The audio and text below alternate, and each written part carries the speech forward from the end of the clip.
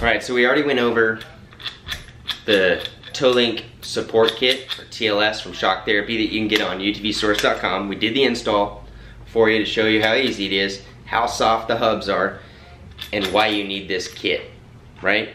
So since we're talking about hubs, and we've got them apart, this is the front hub off a of Can-Am X3 RS. Uh, when you're driving your Can-Am and you're driving hard, do you guys feel like your your forearms are getting sore? You're you're having to death grip the steering wheel, going through whoops or turns like it wants to yank out on you? Well, there's a reason, and that's because the OEM factory Can-Ams come with four inches of bump steer. Four inches of bump steer. That's insane.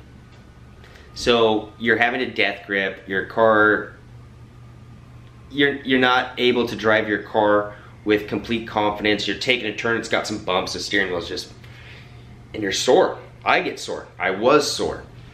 Um, I installed the bump steer delete kit. Again, you can get it at utvsource.com. This is it. That's all it is. May not look like much, but I'll show you. Let me get my razor. So the factory cars with factory steering rods or tie rods, side by sides, some of you guys, the steering rod set dead center. So the misalignment spacer is evenly spaced from the top to the bottom. That creates four inches of bump steer. When your car is cycling up and down, it's pulling the tires in and out. So when you're hitting bumps and you're having a death grip, it's because it's doing this through the the range of motion while it's cycling its suspension. So what shock therapy has done is pretty simple.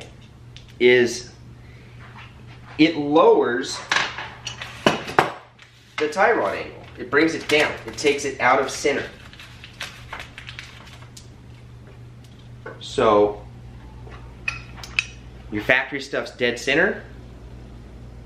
You're going to this now. I don't know if you can see that. It's hard to hold it all up.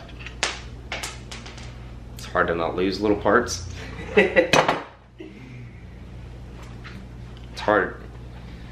So what it does, guys, is it brings that tie rod down to this angle. So when you're cycling through the range of motion, your hub isn't getting pulled left to right.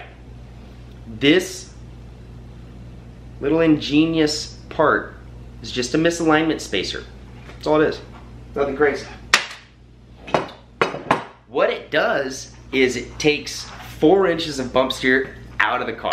It leaves you with only 3 eighths of bump steer, according to shock therapy. Now, I don't know how to prove that statement's true or false, but what I can say is when I put it on my car, I went from white knuckling, driving through whoops at speed and turning, being fatigued and tired, uh, to fingers on the steering wheel, hauling ass through the whoops and hauling ass into turns. It was no longer wanting to rip the steering wheel out of my hands. So, it's pretty rad. Excuse me. so it's pretty rad, right? Um, this little kit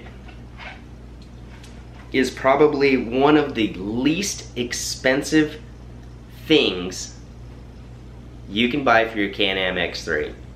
And it's probably maybe one of the best things you can do for the value or the price.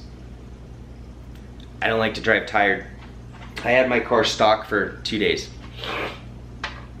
And then I took it in and had everything done to my car. Because I, I, I knew it could be a lot better. And one of my biggest complaints was the bump steer in the car. And a lot of people will attest that in these Can-Ams. It's horrendous. So that little kit, bump steer delete kit, it's like waving fairy dust on your car. It just changes the whole experience.